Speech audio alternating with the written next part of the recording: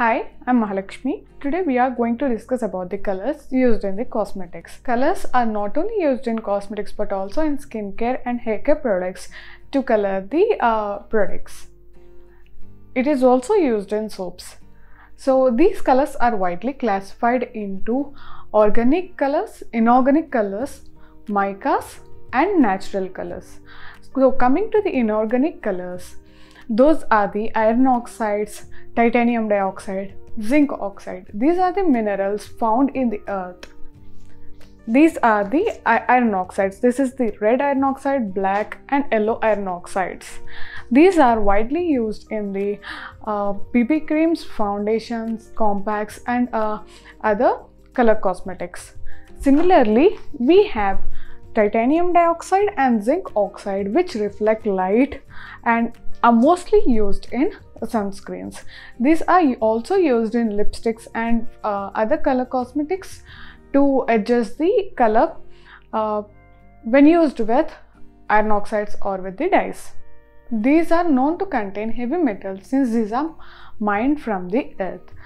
Right now, many of these iron oxides are synthetically produced in lab to uh, eliminate those heavy metals or reduce at a maximum content.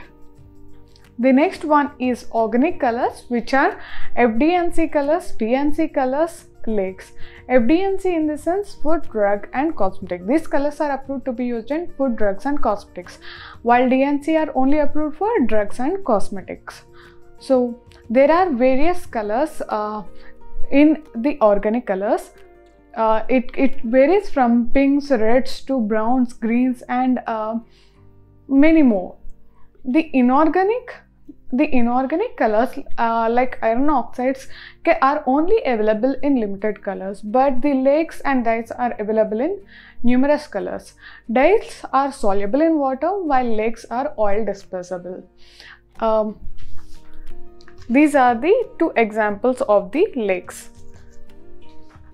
Lakes are made from the dyes, those are less concentrated and are made using an inert binder like aluminium. Not all dyes and lakes are approved for all kind of cosmetics. Certain colors are only approved for skin and only few are approved for eye and lip cosmetics. Ultramarines, ferric ferrocyanide um, are not approved for lip products in certain uh, countries and areas you need to check with the supplier if the color is uh, lip or eye safe. You can also find this information in the FDA website. I will leave the link in the description box. You can find it based on the CI number. The CI number indicates the uh, type of dye or the color. You can see it here. These colors are from Koel. It is one of the approved uh, FDA color manufacturing company. These dyes and lakes also have heavy metals, so there are certain restrictions uh, in these colorants. All these colorants go through the screening and are ensured that the heavy metals are at a minimum concentration which doesn't affect health.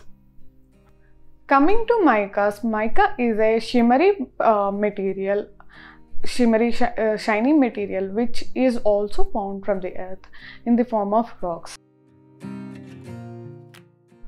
These are two of the micas from uh, mica.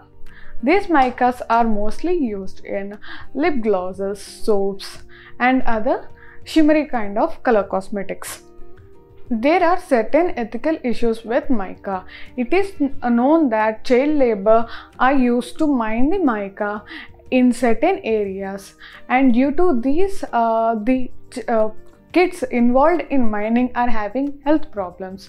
So certain people do not consider using mica or they use only from uh, ethically sourced suppliers. There is a documentary as well on this. The difference between the organic and inorganic colors is the presence of the carbon atom in the organic colors which is not in the inorganic colors. It is not uh, in terms of the extraction or how natural it is.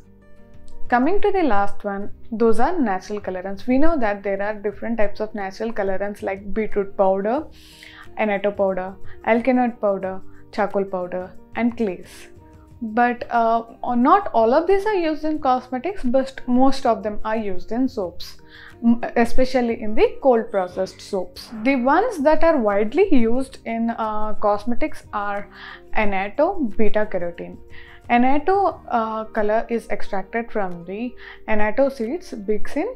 it is oil soluble Another one is alkanet. Uh, root infused gives a purple hue. This is the annatto oleoresin and this is the alkanet root infusion.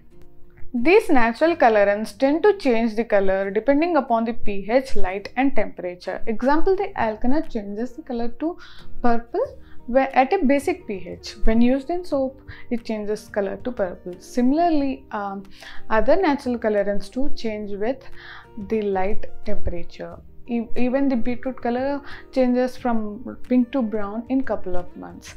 So the, uh, not all of these colors are used in the uh, cosmetics especially in the lipsticks or foundations. But there are certain colorants which can be used which are approved to example annatto and beta carotene these give orange color Carmine is another popular one which is uh, used to give a pink color, beautiful pink color to the uh, lipsticks or uh, color cosmetics but it is not a vegetarian or a vegan option since it is derived from the insects. There are certain restrictions in the usage rate too. Few are allowed to be used only at 3%. So you need to know this from the supplier. Since the pigments and dyes are in powder form and are not soluble eh, in uh, oils, sometimes it becomes difficult to add in lipsticks or uh, any cosmetics for that matter. So uh, generally in commercial industries there are triple rollers and equipment which uh, grind it into smooth paste. Since the dyes uh, and lakes are available in powder form and it becomes difficult to sometimes incorporate them in lipsticks, we can use liquid colors which are pre-dispersed colors like this one this is from Purenso. Or you can grind the color in the castor oil and make a paste so that you can use it. I have grinded the uh, lake, rubine lake into the castor oil. There are other liquid colors which are uh, only used for melt and pour soaps which are not used in cosmetics. For now this is what I have. It depends upon you on which colorants uh, you want to use in the cosmetics. If you have any questions or any suggestions, please put in the comment box. I would like to know. Thank you for watching.